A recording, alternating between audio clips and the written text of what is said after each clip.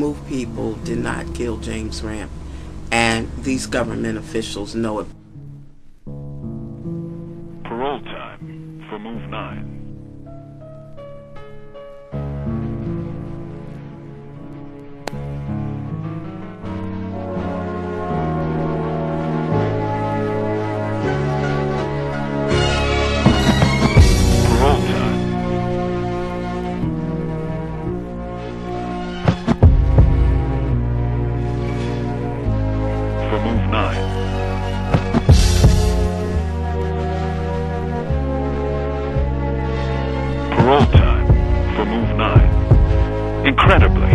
It's been almost 30 years, 30 years, since nine Move men and women were unjustly consigned to prisons across Pennsylvania.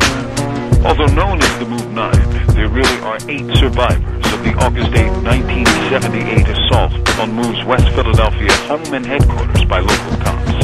They are Phil Africa, Janine Africa, Mike Africa, Debbie Africa, Janet Africa, Eddie Africa, Chuck Africa, and Delbert Africa. Late Merle Africa died at the women's prison in Muncy, Pennsylvania under quite mysterious circumstances. All nine Move men and women were convicted in one of the longest and most contentious trials in city history on dubious charges of third-degree murder of a city cop, various weapons charges, and conspiracy.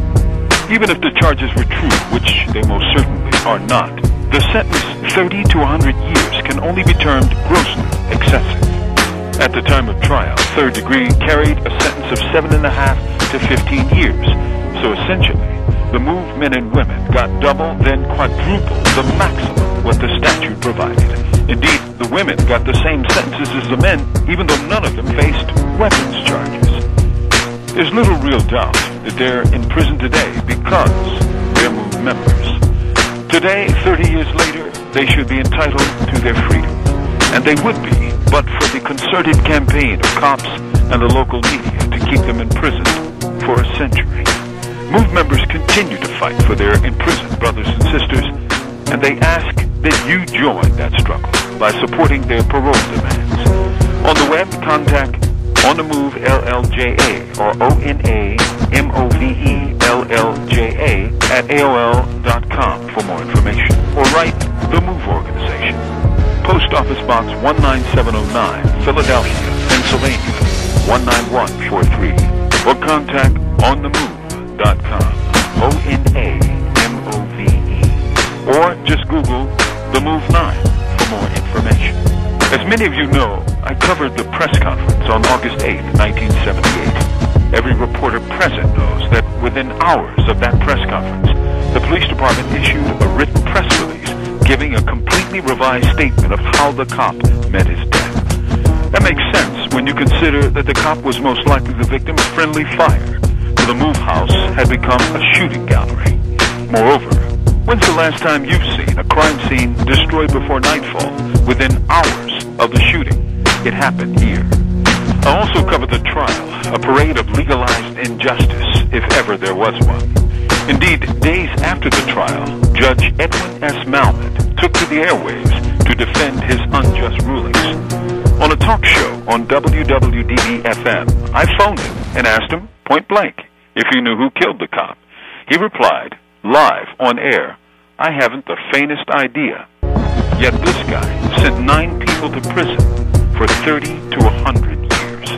From death row, this is Mumia Abu commentaries are produced by Noelle Hanrahan for Prison Radio.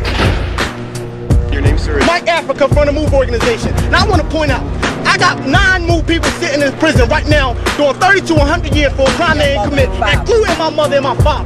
We got serious work to do. We ain't out here talking just to be talking. We putting out information What's the protest originally about? I mean, what were you protesting for? for the mo- release of my mother and my father, and Mumia Abu Jamal, and Leonard Peltier, and Russell Shoatz, and all the rest of the political prisoners. The August 8th newspaper. This was like not even hours after uh, the police attack on Move and Move people being arrested. Front page of the Philadelphia Daily News. Oh my God, they shot a cop. Who shot a cop? You know, I mean, there had been no trial. Move people hadn't even been processed on charges yet. And the news media on the front page of the newspaper had him tried and convicted. Oh my God, they shot a cop. Honorable, long live John Africa.